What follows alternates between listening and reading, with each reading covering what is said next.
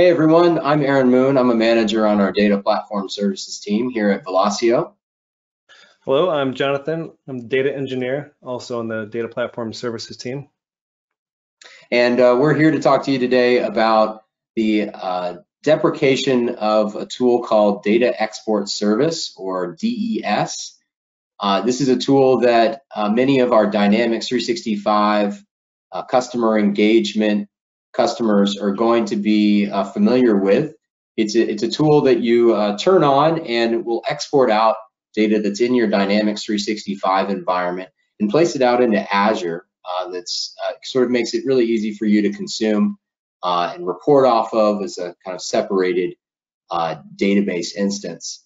And Microsoft has announced that this tool is being deprecated, but they are providing a path forward to use a new tool that's underneath uh, Azure called Azure Synapse and specifically uh, Azure Synapse Link.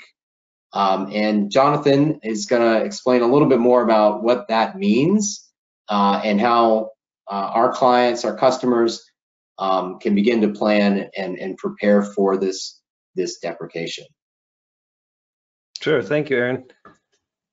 So if you can see on, on this screen, we're looking at a very high level overview of going from your data source, which is Dynamics 365 and the Dataverse backend, over to some other data integration, data repository, data visualization like Power BI. And so currently, if you have data export service, uh, you're syncing up the data to something like Azure SQL Database. And what Microsoft is recommending before November 2022 is that you switch over to the Synapse link for Dataverse.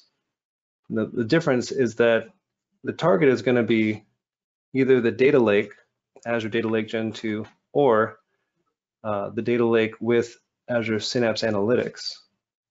And this is just a way to unlock um, limitless analytical capabilities. Built into Synapse is the features of Azure Data Factory, so you have pipelines, you have integration, you can write in uh, Spark and T-SQL, you can monitor and uh, have access management there. But really, it, it is um, analytics at scale. It's really cheap storage with the lake, really cheap and scale out uh, compute in Synapse. So, uh, but to do this, it sounds great. And how do we actually do this? Well, we would need a plan, right, with any project. And so if you were to migrate from DES to the link, uh, it's already June uh, as of this recording, and so there's not much time left, but you can start now to begin a plan, um, assess how this is going to impact your business, see how many things are in scope, what will be affected, Depends on how many integrations there are, how many people are using the data that's downstream. Uh, define what are the dependencies, who are the owners, right? Uh, so you can allocate the resources and, and the budget accordingly, have the right timeline for this, and come up with a testing strategy. You know, who's going to do the UAT, who's going to do the non-functional testing, uh, how are we going to communicate to the users? Those are who the data consumers. Uh, how, how are you doing on the major milestones? Come up with a go live strategy, right? Um, when do you cut over? How long do you go in parallel with DES and the link? And finally, pilot. Uh, test out everything end to end before you make the, the full cutover and, and see how it goes. And to that end, uh, is here, standing by to assist you in these efforts. And we know in some cases it could be a huge lift.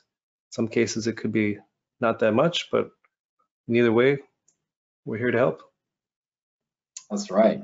Thanks, Jonathan. So we are offering a uh, assessment that you can work with us today. Uh, just uh, reach out uh, to your client services manager um, and and we can begin that process with you of planning how to use uh, the Synapse link and replace the data export service. Thanks so much.